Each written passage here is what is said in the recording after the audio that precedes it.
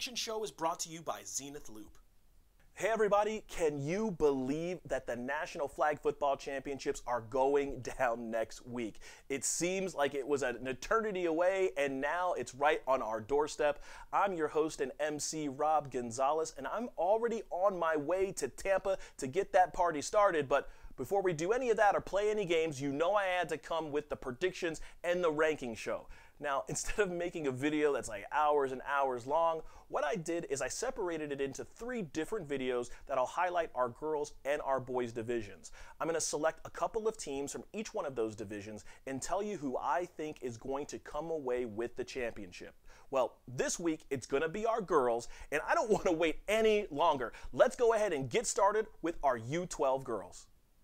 So in our U12 girls division, I would be doing it a complete disservice if I did not tell you that the number one team to beat is Pink Dynamite. They have two titles and they're going to be defending their title from Summer Nationals, and it has been dominant for this team. Now, is there another team out there that's going to be able to challenge them for their crowns? Well, the Staten Island Giants might have a little bit to say. They're coming from an all girls league in New York they are hungry to show on the national stage that they can do it. And here's the thing they have a couple of girls, Olivia Rijo and Annabelle Baez, who were on the 14U team, but they qualify to play on the 12U team. So you're going to have some girls who have experience playing against bigger, faster opponents, and this could be the difference maker when it comes to is it going to be Staten Island Giants or is it going to be Pink Dynamite in a third title? Well, I would love, I would love for the underdog story to come true where the Staten Island girls would come in, knock off Pink Dynamite, and it would just be this Cinderella story. Well, Unfortunately, you're not going to see me go against Pink Dynamite. I think that until they've shown that they are going to lose, then I'm not going to put my money against them. So I'm going to go with our number one seed, Pink Dynamite, to take down the U12 girls division.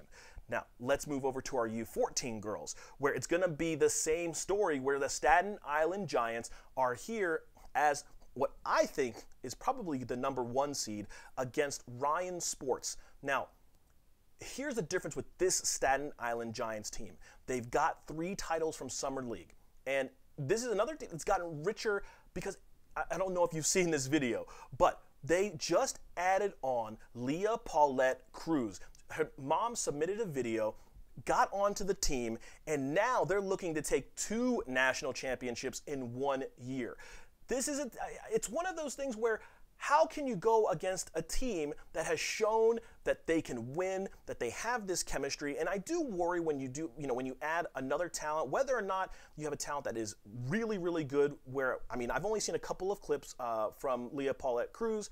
Um, it's there's always the worry that there's not going to have the chemistry and that it might take some time. But I believe that in the U14 girls division, the Staten Island Giants have everything in place to be able to use a new piece of their puzzle and make it all work in enough time. But I mean, look at this. We're talking about Battle of Bethlehem 14U girls champs, Rally in the Valley 14U girl champs, Summer Nationals, NFL flag New York regional. They've got it all going on. So again, it's really hard for me to ever go against a team that has shown that they can consistently win, and I'm not going to do it this time.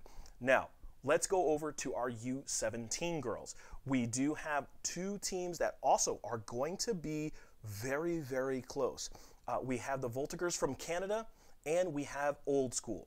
Now, let's talk about Old Skewl here two titles, including Summer Nationals. They were Nationals finalists last year. They did lose to the team from Mexico, and they're trying to get some revenge and show that they are the team to beat. Their coaches, Jason Tucker and Michael Tepper, have said this is a team that has everything. This is a team that we know can battle through any kind of adversity. We're not afraid of teams from Mexico. We're not afraid from teams from Canada, and I agree with them. I think that Old Skewl, from everything that I've seen, has everything they need to take this championship. And even though there is this mystery team coming from Canada, and we really do believe that this all girls program is going to put up some good numbers, I'm going to go with Old Skewl. They have that fire in their belly. And sometimes there's this situation where you have a, a good loss, and I, nobody ever wants to lose in in the national like finalists, right? You just that doesn't you don't want that to happen.